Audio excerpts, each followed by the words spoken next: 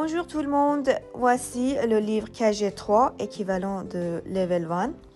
Derrière le livre, vous allez voir le QR code et vous allez scanner avec votre appareil photo.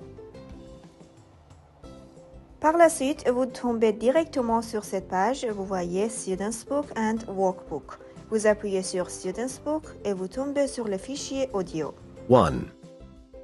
How are you? St- Page 2. Practice 1.